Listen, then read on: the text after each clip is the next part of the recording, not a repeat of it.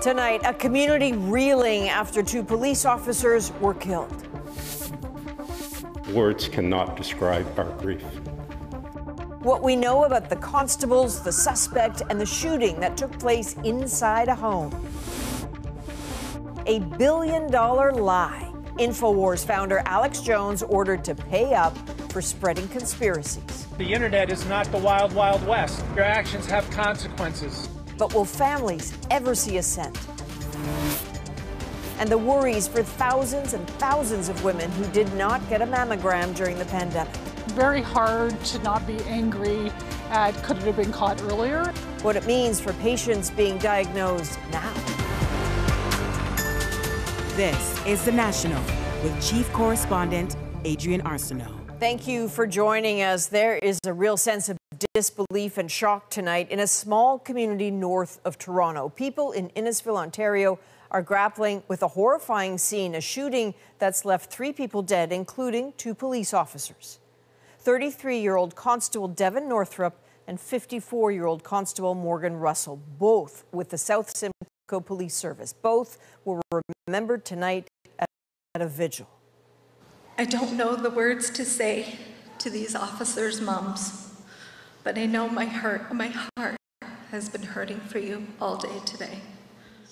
That is just a sense of the emotion in the town tonight as community members and first responders gather to pay their respects. Katie Nicholson is in a very hurt Innisfil tonight with what we're learning about the suspect. Where's the cop and the ambulance? Emergency vehicles tore through a quiet country road just after 8 Tuesday night. Hours later, a neighborhood still in shock. I heard about uh, 7 to 12 gunshots go off right at around uh, 10 after 9. I thought maybe it was fireworks.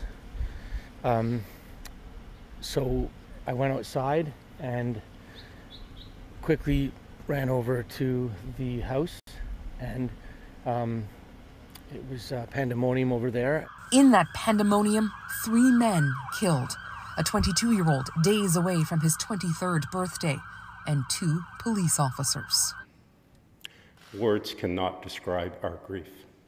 Constable Devon Northrup, just six years on the job, worked with the service's mental health crisis outreach team. And Morgan Russell, a 33 year veteran and trained crisis negotiator. Their deaths, two gaping holes in a small police force in a small town. We're just broken.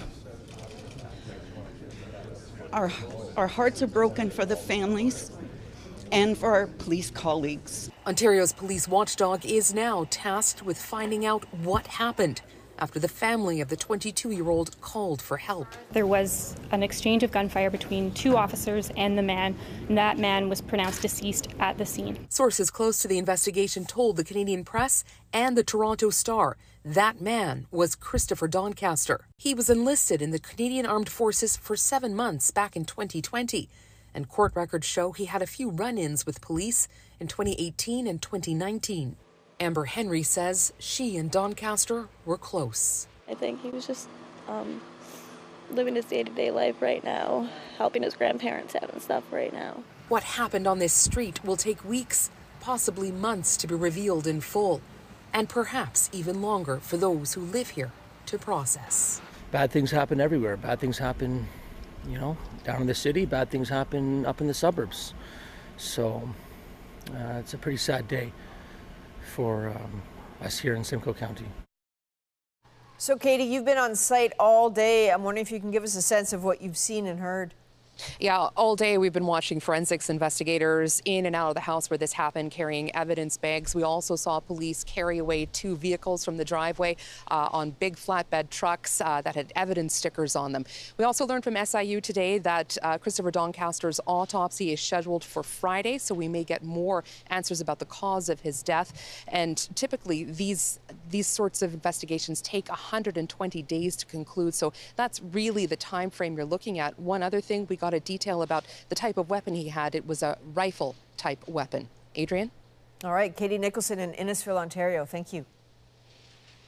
Turning now to Hockey Canada and a CBC News exclusive, we have new details from a preliminary report into the use of private funds to settle sexual misconduct claims. Ashley Burke now with what those confidential documents reveal. The Prime Minister today meeting with the future of hockey in Canada and talking about Hockey Canada's current problems. Get sort of the lessons around governance and what you've been able to build around women's hockey to uh, seep over into uh, and beyond that, uh, that old boys network at, at, uh, at Hockey Canada. CBC News has exclusive new details from a preliminary report commissioned by Hockey Canada.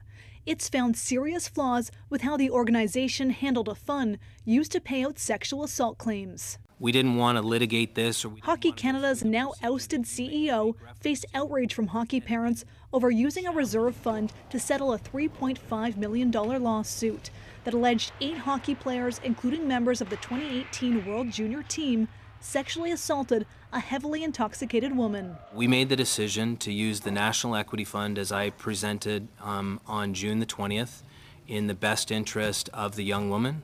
The report by retired Supreme Court Justice Thomas Cromwell found reserve funds to cover uninsured liabilities is not only sound, but the failure to do so would be a serious oversight, but recommended sweeping changes after discovering major issues a lack of policies and procedures, financial disclosure, and transparency. It's totally fine to have a fund like this to cover uninsured claims, provided that you're transparent about it. And that was what was missing here. The report also found that Hockey Canada didn't disclose that about $13 of insurance fees per player was being transferred into the National Equity Fund. Cromwell wrote that some provincial federations said they knew the fund was used for historical claims, but did not think its use would include protecting predators going forward. This is an example of what can go wrong. Liz Watson helps companies find board members and teaches them about good governance. In this case, there really were no rules, and it was a way to ensure that athletes were protected and without regard for the overall sense of values that the organization should stand for. So, Ashley, what else stood out to you from this report? Well, Adrienne, that Hockey Canada broke disclosure rules. It's supposed to notify its provincial federations that anytime it uses the fund to pay out more than a half a million dollars for a settlement or claim. But Cromwell found that six times since 1999 that it did not. And as for that report, we're expecting it will be made public, but it's not clear when. Provincial federations are meeting in Toronto this Saturday to vote on some of the report's recommendations, like increasing the board size with longer terms and including more women. All right, Ashley Burke in Ottawa, thank you. Now to the U.S., where conspiracy theorist Alex Jones is being ordered to pay roughly a billion dollars to the families of the victims of the Sandy Hook mass shooting. Katie Simpson shows us the unforgettable reaction from those families and Jones himself. Roman number one, compensatory damages. The lies of Alex Jones added so much torment to these families, many already grieving the murder of a child the jury set out to make an example. Total $120 million, initialed by juror number one. Awarding parents and loved ones huge sums of money. All I can really say is that I'm just proud that what we were able to accomplish was just to simply tell the truth.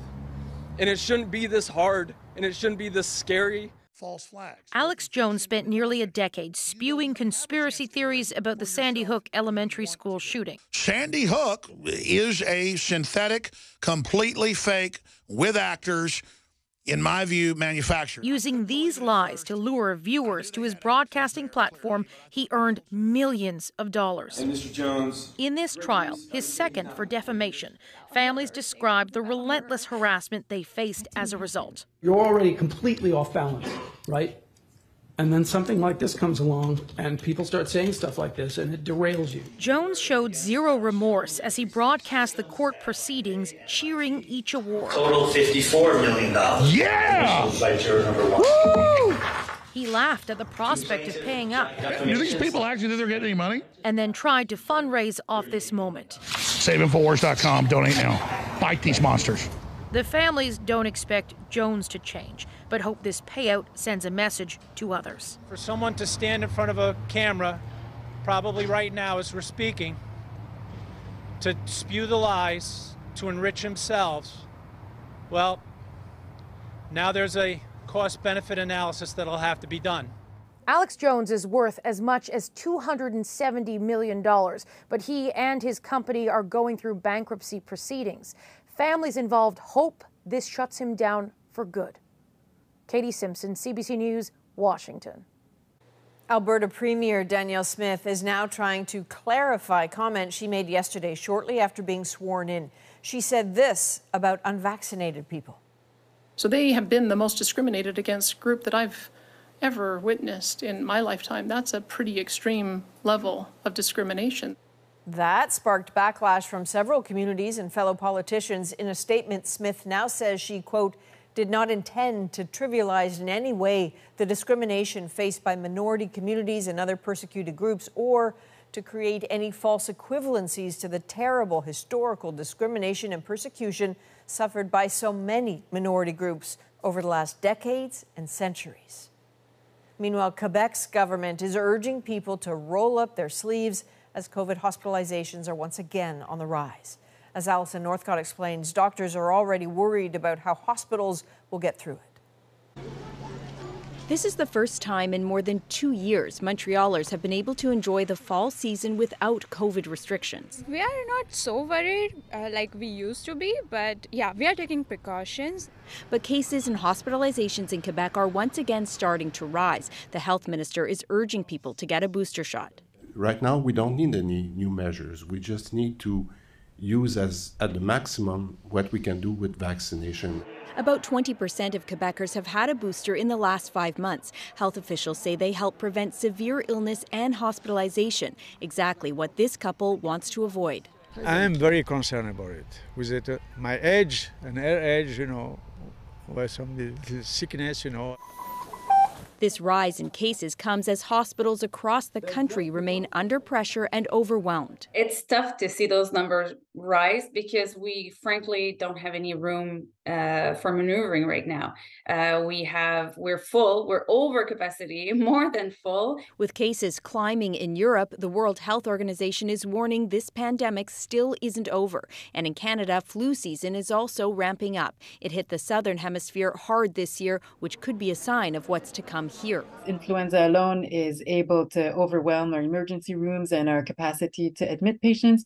So if for you know bad luck we would have a big influenza year on top of what you know eighth wave of covid then it is very possible that it would overwhelm the healthcare system. With no plans for new measures to control the spread of covid-19 the province is asking people instead to make an individual effort to protect the vulnerable and limit pressure on the healthcare system.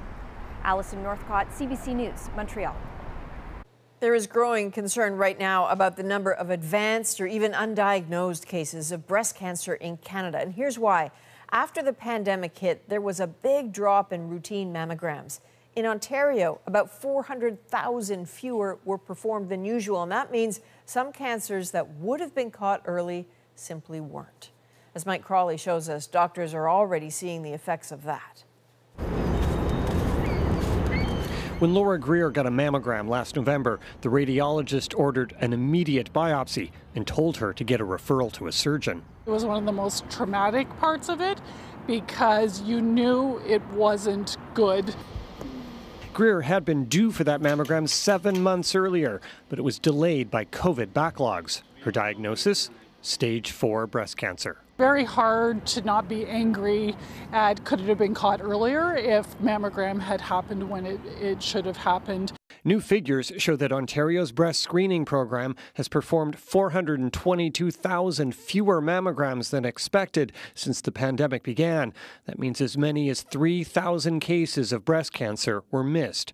So, this is the same area. Doctors are now seeing the impact. What we're noticing is that women are presenting with bigger cancers and with their lymph nodes being involved. Here is you see a mass. Catching cancer at a later stage has consequences for treatment and the chances of survival. Before that, we would have done surgery uh, and maybe some radiation for. Now it's surgery, radiation, and maybe chemotherapy. This is not unique to Ontario. Routine mammograms also dropped off in other provinces, by about one third in British Columbia and Alberta at the start of the pandemic. There's been a similar trend with colon and cervical cancer. Certainly in my practice, I, I saw a wave of more advanced cancers that um, I, I, think were, were linked to delays in diagnosis. Ontario's breast screening program is now back to its normal pace. This is a good time to make an appointment um, and get your mammogram in. Laura Greer is responding to treatment. I go to work full time, I have two children, I do all of those things, but you never know when um, that could change all of a sudden. Mike Crawley, CBC News, Toronto. Prime Minister Justin Trudeau is vowing Canada will continue to help defend Ukraine and is promising more military aid. This, as the Ukrainian president says the country is rebuilding after Russia's two day barrage of missile and drone strikes.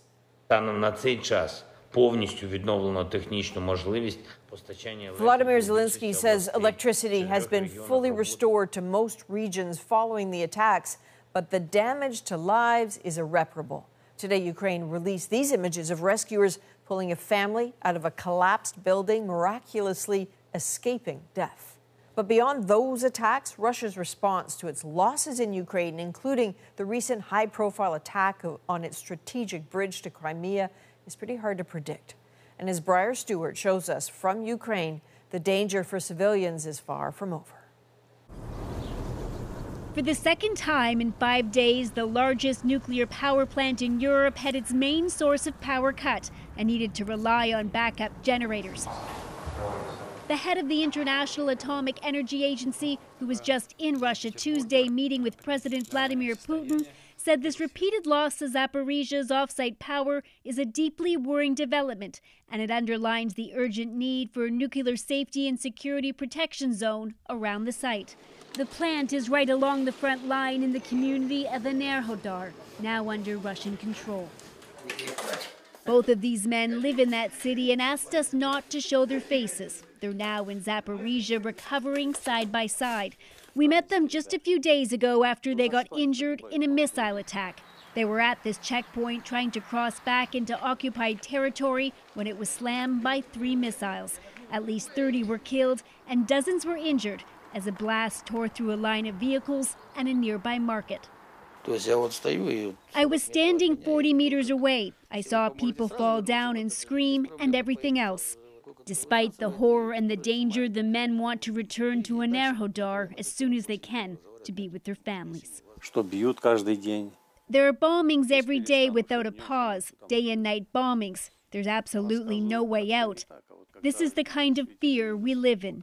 Vladimir Vladimirovich Putin. Putin has called the nuclear power plant a concern, but had stronger words for the damage to Russia's Nord Stream pipelines. Swedish investigators suggested they were sabotaged last month, and Putin blames terrorists.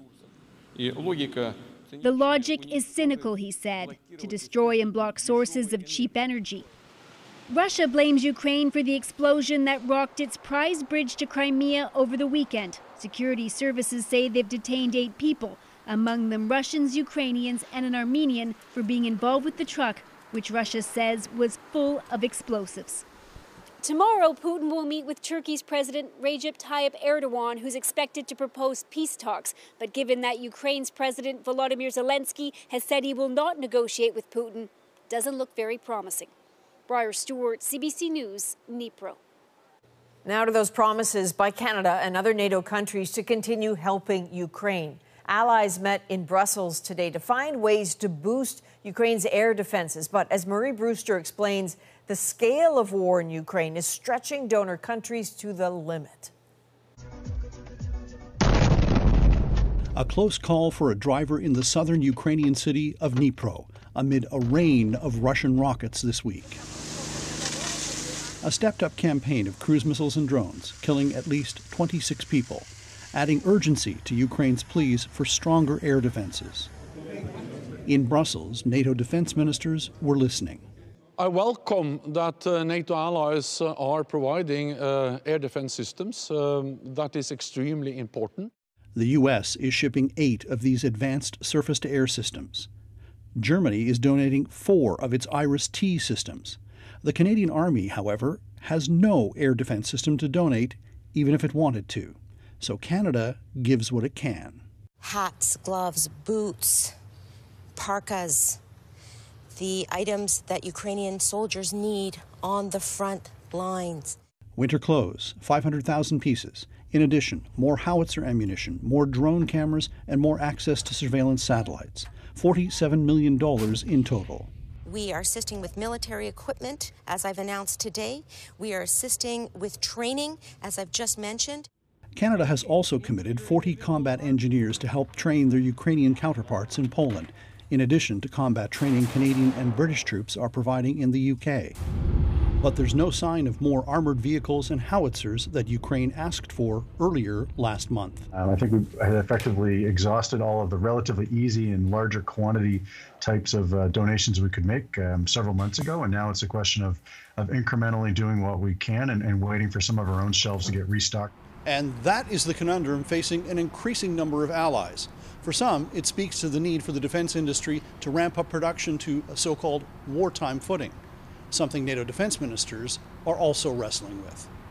Murray Brewster, CBC News, Ottawa. Questions are emerging about the ancestry of a prominent Indigenous leader.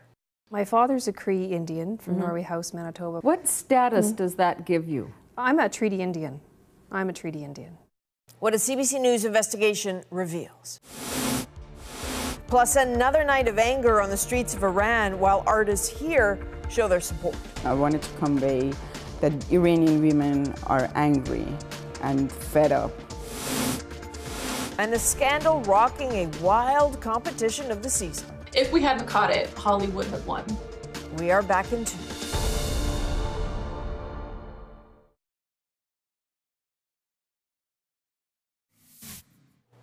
Well, Canadians can now borrow money at the post office. Canada Post has partnered with TD Bank to offer personal loans between $1,000 and $30,000. No bank account apparently required. And applications can be done online. This is part of a push to bring more low cost financial services to rural, remote, and Indigenous communities. We now know who is in Conservative leader Pierre Poilievre's shadow cabinet. It includes some longtime supporters and some rivals. Leslyn Lewis has been tapped as infrastructure critic, Scott Aitchison for housing.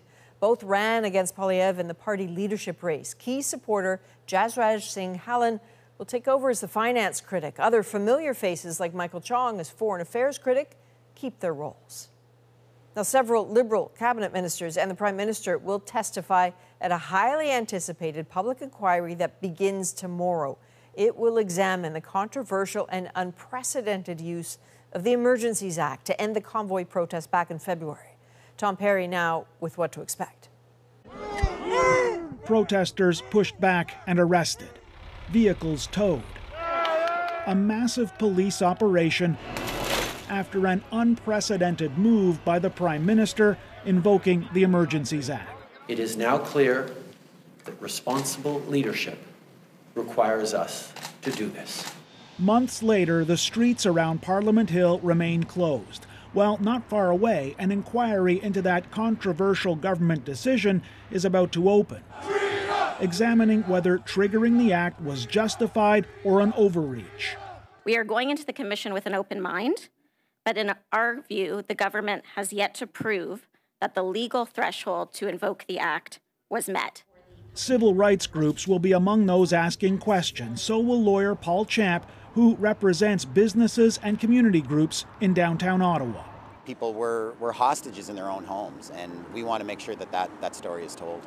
The long list of witnesses so far includes Ottawa Mayor Jim Watson, former Ottawa Police Chief Peter Sloly, who stepped down during the occupation, protest organizers Pat King and Tamara Lich, and Prime Minister Justin Trudeau, who still stands by his February decision. From the very beginning, I offered to the Commission uh, to appear at that commission so that Canadians could understand exactly why we had to do what we did.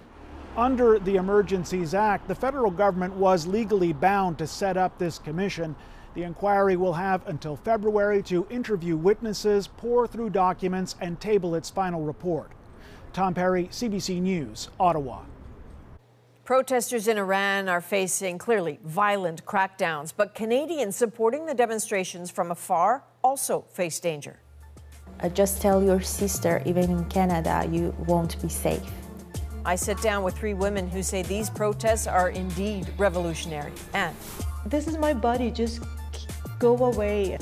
The artist speaking out on canvas. Next.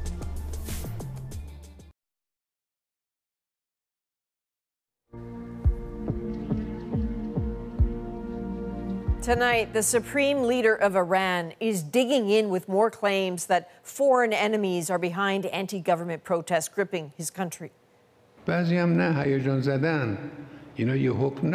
So that was Ayatollah Ali Khamenei today playing down the protests, calling them scattered riots.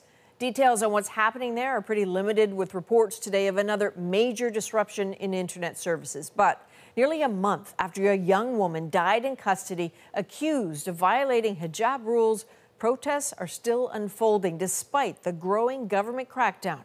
One human rights group estimates more than 200 people, including children, have been killed.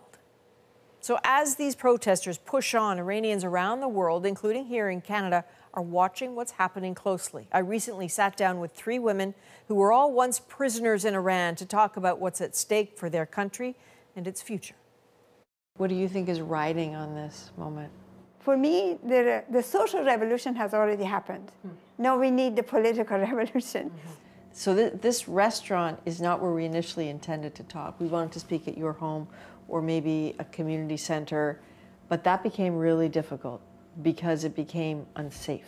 We, we cannot feel uh, safe, um, even in, here in Canada. Many of us have uh, the experience of getting threats. My sister was called by the um, Ministry of Intelligence in Iran. They just harassed her a lot just because of me.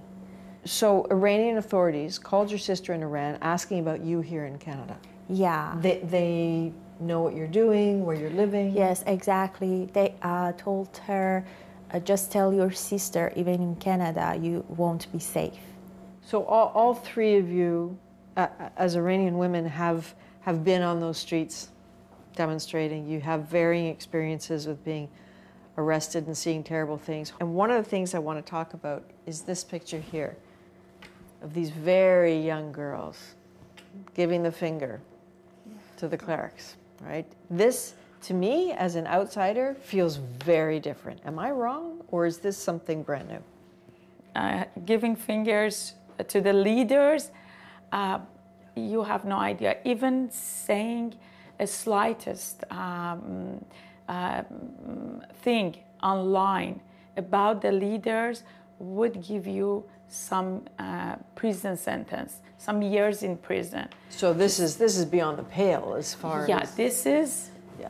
this they are so fearless and brave. Yes, they are more uh, brave than us.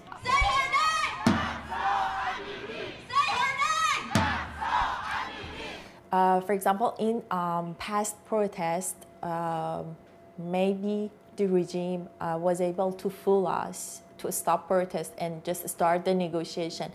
Each time we stop the negotiation, uh, just protesting, they start execute us. And these just young fighters know how to uh, behave with this regime.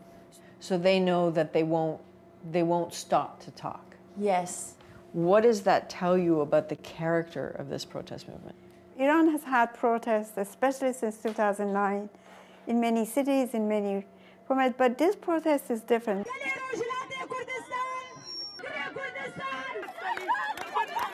The previous pro, um, protests have either has been a kind of a reformist, they wanted, say, integrity of electoral system, or they wanted to the regime to open up a little bit. So, so change, was, but within the system. Within the system, or it was economic demands by usually workers and uh, factory workers or uh, for economic.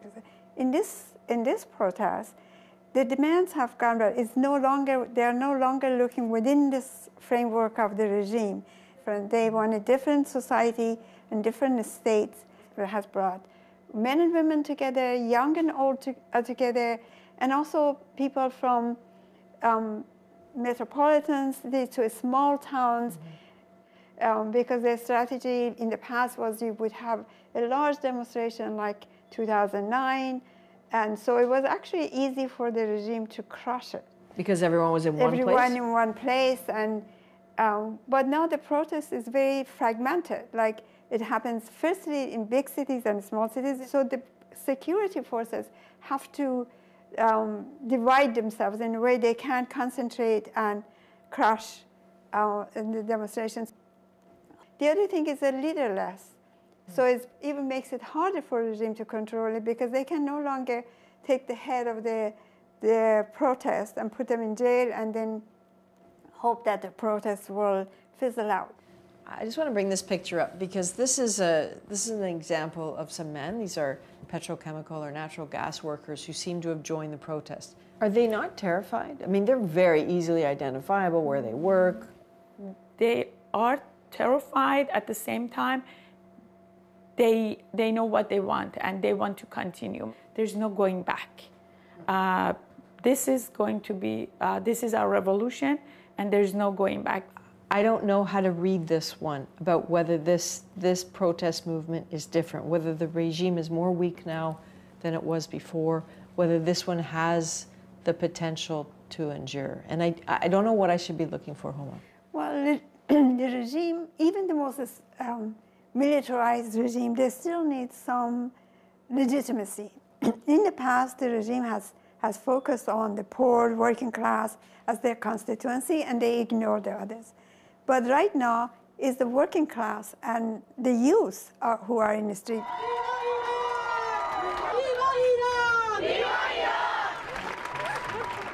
Iran is a very young society. A lot of people, more than 60, 70% are under the age of 30. They have lost legitimacy across the section of the society. Even, even a lot of people think like the rank and file of people who are in, in the Revolutionary Guard, the police and, and, and military, they, they don't see the future in this regime. Iranian people want democracy, they want freedom, they want liberty, and they want uh, a normal life, to have a normal life, especially the young generation. I'm pretty sure we will win. But not only we will win, we will be an example in the history. And uh, every person in every corner of this world who are supporting us by tweeting, by attending rallies, by signing petitions, by pushing forward politicians to take a meaningful step, will be part of this historical uh, victory. Homa Shaparak, Mariam, thank you very much. Appreciate Thank you. that. Thank you for having us. Now, all three women who've all been jailed in Iran for demonstrating all say that those around the world supporting the protesters make a difference in Iran and that a whole range of efforts, like art, matter. So, Ellen Mauro takes a look at how that art helps lift those Iranian voices.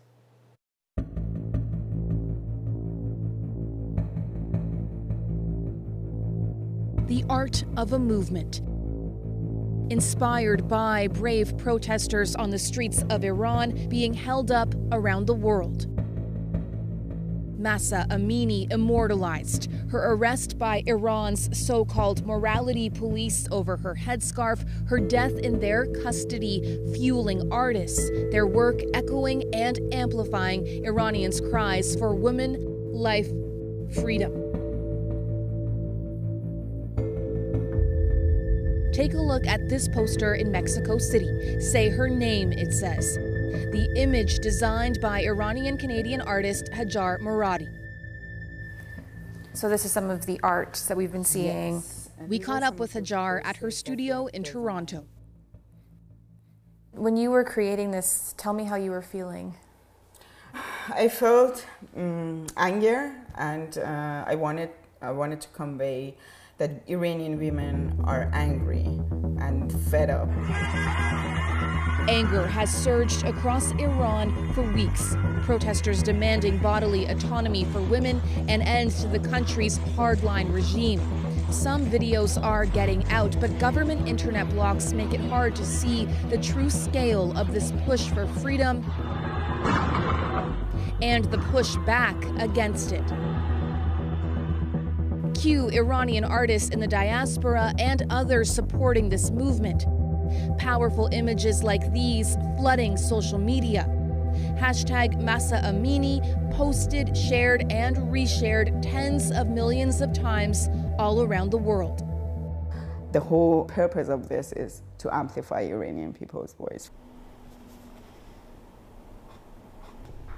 Hajar's art helps her cope with fears for loved ones still in Iran. When you learned of Mahsa's death, how did that impact you and your work? Of course, there was first, there's an anger, there's a huge anger in every Iranian woman because of decades of suppression. What we want to do and what we are trying to do is to put our anger into work. Art and action. This is Hajar and a group of friends cutting their hair at a Toronto demonstration. An act of resistance symbolizing control over one's body, featured in so much of the artwork, including Hajar's most recent piece. There with her at the Toronto protest was fellow Iranian artist Samin Karamati. In her Toronto studio, Samin is working on a sculpture that will be covered with hair, dedicated to Mahsa and the Iranian women who've been fighting repression for decades. Much of the hair has come from protests around the world over the last few weeks. What is the significance of incorporating so much hair in this installation? What does it say? I don't know how else can I say that this is my own body and I want, I want, this is my body, just go away. Samin was also arrested by the so called morality police before she left Iran in 2012. When you see what's going on now, how, how are you feeling in this moment? I'm learning from this young generation of girls. They are very brave. I'm just looking at them, learning from them, and try to be their voices and they're not backing down. They are not. It seems that they are not going back. How long will it take? I don't know, but women of Iran, they win. They are the winners. Ellen Mauro, CBC News, Toronto. The ancestry of a well known Indigenous leader is being questioned tonight. She's Mary Ellen Turpel Lafond. is the first Native judge in Saskatchewan. An exclusive CBC News investigation digs into her claims and reveals a different past.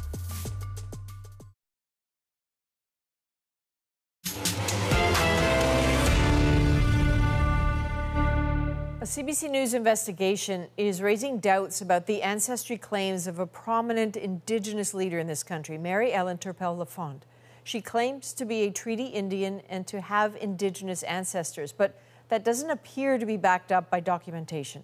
As Geoff Leo shows us, her story illustrates the complex and evolving debate around Indigenous identity in Canada anti-Indigenous racism. Mary Ellen Turpel Lafond is considered to be one of Canada's most prominent and successful Indigenous scholars and leaders.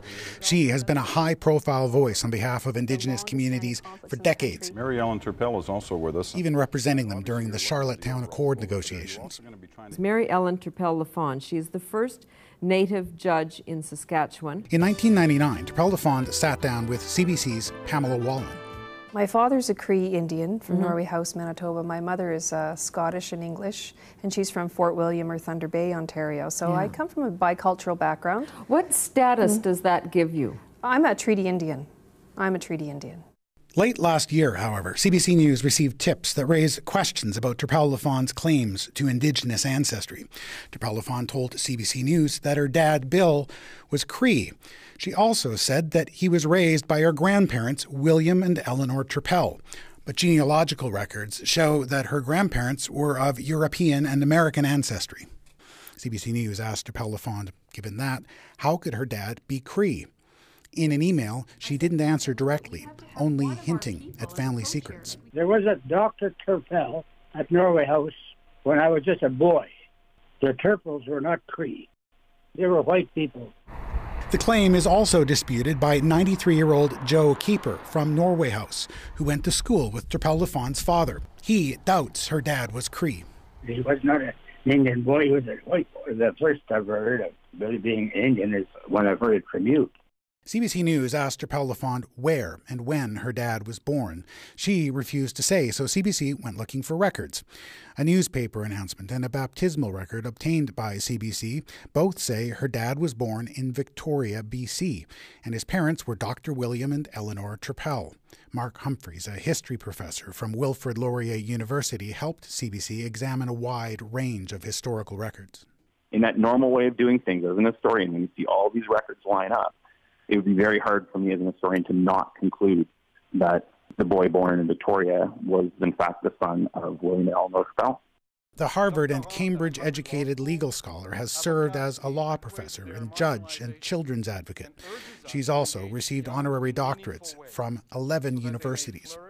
Over the past decade, she has been the voice of those who cannot be heard, particularly those from Aboriginal communities because Turpel Lafond didn't say who her father's biological parents were, CBC reached out to one of her sisters. She said she believed her dad was either adopted from a Cree family or was the product of an affair involving her grandfather and a Cree woman. But CBC has found no evidence to support that claim. And Turpel Lafond has declined to provide her Indian status card or even say if she has one. And Geoff, this, of course, isn't the first time this kind of allegation has been made against someone. Yeah, no, definitely not. I mean, over the past year and a half, uh, here in Saskatchewan, I've looked into a number of claims uh, about non Indigenous people who have claimed to be Indigenous. And there's a lot of concern out there about this because uh, people say it can rob Indigenous people, genuine Indigenous people, of opportunities like scholarships or jobs that are meant specifically for them. And so in this case, uh, some people say Turpel Lafond has benefited from her claims and therefore has an obligation to answer questions about them. But she doesn't see it that way. No, she definitely doesn't. She's refused to do an interview with us, and she's in fact said questioning her ancestry was offensive and was a violation of her privacy. Uh, in an email, she did point out to us that she has been accepted as a member of her husband's community, the Muskeg Lake Cree Nation here in Saskatchewan. And her supporters say if a First Nations community has accepted her, that should be good enough for everyone. All right, Geoff Leo in Saskatchewan. Thank you, Geoff. Yeah, you're welcome. Next on the National, a voting scandal of gargantuan proportion found about 9,000 spam votes. The competition that barely ended well. In our moment.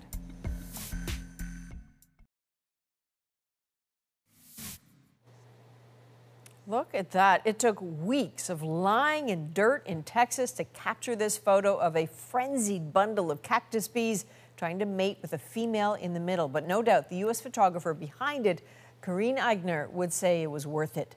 The image won her Wildlife Photographer of the Year. It's a prestigious award given out by the Natural History Museum in London. There were 38,000 entries this year. Finalists included a close up of the filters in a whale's mouth. Can you see the sardines trying to escape there? And the final moments of an orphaned mountain gorilla in the arms of her lifelong caregiver.